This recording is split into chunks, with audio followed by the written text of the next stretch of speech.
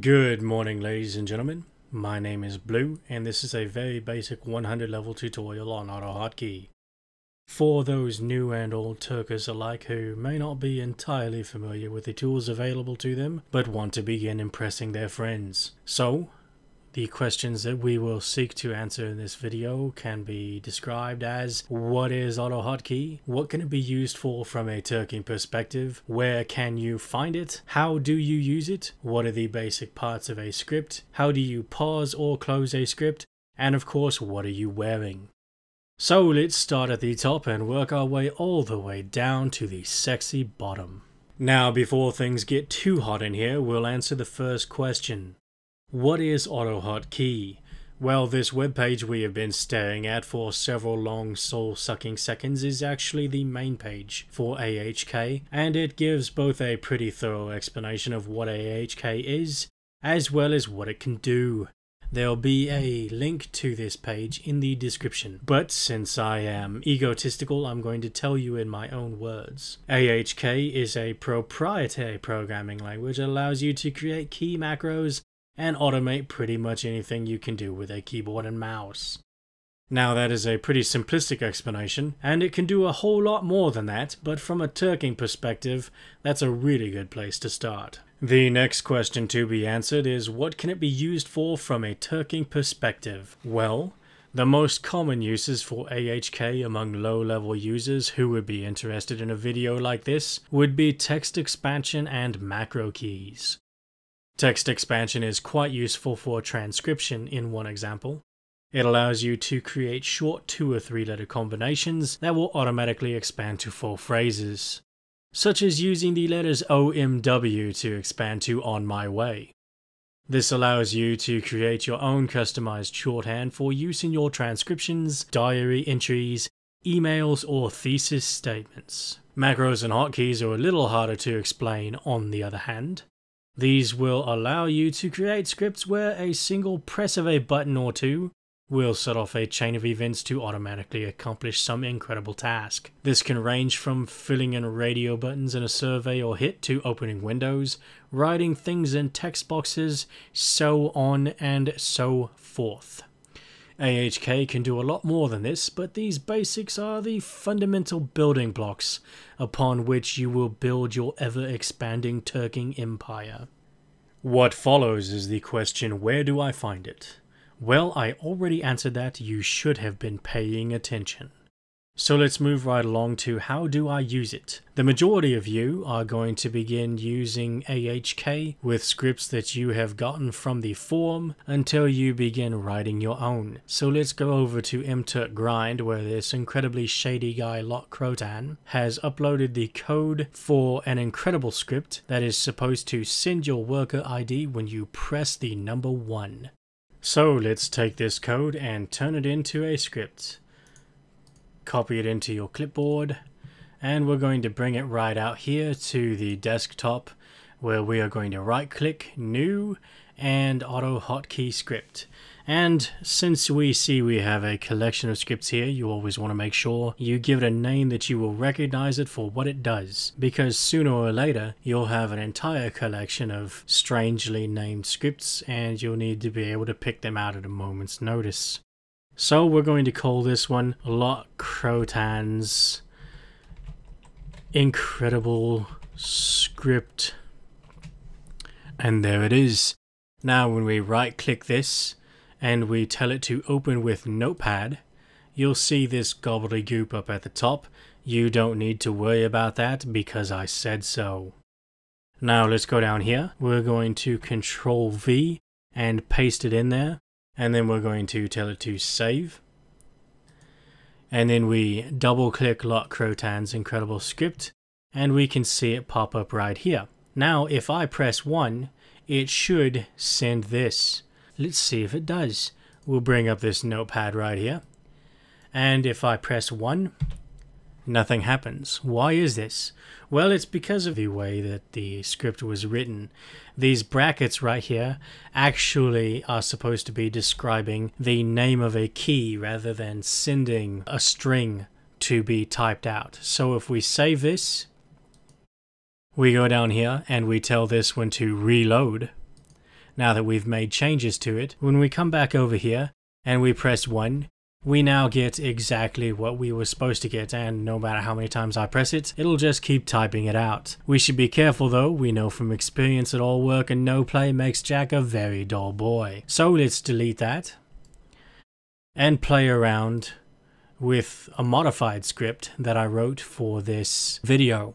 So I'm going to do this in the development environment so that it's nice and colorized and you can see everything that's in here. This green text with the semicolon in front of it is commented out, which means it won't actually run. So when you make your own scripts, if you can't remember what they do, throw in a couple lines with a semicolon in front of them, and that will be notes for you so that you remember what it does and how to work it. We can see here, Lot Crotan's incredible script is again appearing right there. And we've made a couple of modifications to it. The first is we added a caret at the front. This caret adds a control button to the beginning of it so that when you actuate it, you have to press control 1 instead of just 1. The reason we do this is some worker IDs contain numbers in them and if yours had a 1 in it and you told it to activate with 1, you would enter an infinite loop of fiery death in which your worker ID would continuously cause the script to actuate itself and it would press it out into infinity. The same thing with this return right here. I realize that was already in the first script, but that return is also there to help prevent you from entering into infinite loops. We also added a second button here, Control 2, this one pauses your script in case you're running sometime and you need to pause it to do a capture or to start working with a different script or something of that nature. And then we did control 3 here to exit the app. We also have some text expansion down here, but we'll talk about that in a moment. So first, let's see. We'll activate worker ID. You notice we've already got Lot Crotan's incredible script running. If we activate worker ID, you'll notice that both of them are running at the same time. This is by design. You have to remember when you have more than one script running that they don't use the same actuation keys or they will both fire off. Now we're going to close Lot Crotan's incredible script so that we can just work with worker ID. Now, if I press Control 1, we see Dongleman. Yes, ladies and gentlemen, that is my worker ID, Dongleman. And of course, if I press Control 1, as many times as I want to, we get into the same situation as before. Now if we come down here to the tray, we can check out the other two keys. If we hit Control 2, we see the icon turn red. And the reason it does this is to let us know that it's been paused. We can hit Control 2 again, it turns green, letting us know that it's ready to go. And of course, if we press Control 3, it goes away because we told it exit the app. Let's bring it back up again, make sure that it's running, and then let's go back and let's take a look at our text expansion. Now I am just going to minimize this a little bit and bring this over here to the side so that we can see both at the same time. Now text expansion is fairly easy. The syntax is the first section here lists any modifier flags that you might want. In this case we've got an O that tells it not to add a space to the end and a C that tells it to be case sensitive. And then the second section is your trigger text. In this case, it's blue. And then your third section is going to be what it replaces with. In this case, it's I'm Batman. So if I type BLU and a space, we get I'm Batman. The same with AMT, we get Amazon Mechanical Turk. Now these next two, you can see that we left the OC out of the front section. It still has two colons, but it's empty and this changes the way the text expansion works. If I type what, we get yo, that's whack.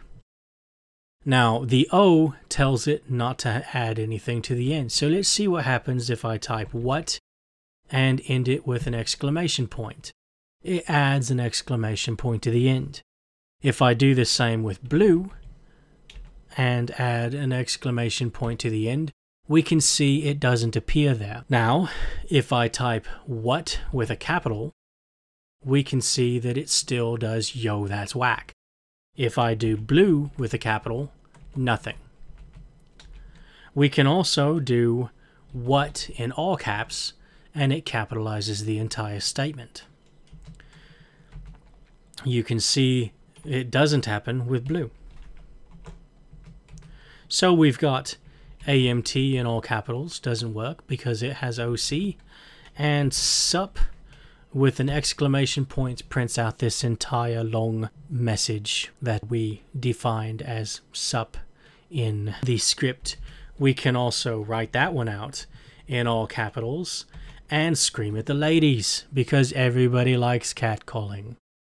That pretty much covers the uses of text expansion and hotkeys. We've shown you what the basic parts of a script are. We have basically one piece of information left to disseminate to you about AutoHotkey, and that is for those of you who work and can't install AutoHotkey on your work laptops, can't have extensions installed into your browsers and whatnot, you can still use your scripts Let's do this worker ID right here. And we are going to right click it and tell it to compile. This is going to produce an exe of your script that you can take to any Windows computer and use your scripts regardless of whether it has AHK installed or not. And it actuates the same way. If we double click it, we can see worker ID pop up. Now we can go to this notepad and we can do all the same things as before. Sup creates this, Control 1 is Dongle Man.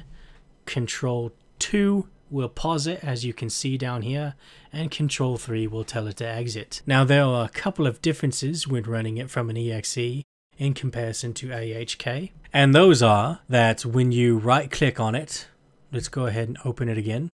When you right click on it, you have fewer options. You can't edit it, and you can't see what commands are in the script. All you can do is suspend it, pause it, and exit it. So after you compile your scripts, make sure you know what hotkeys it's using or what text expansions it's using because otherwise you won't be able to see it without experimentation. There is but one pressing question remaining, which is, what are you wearing? And my answer to you is, come find out.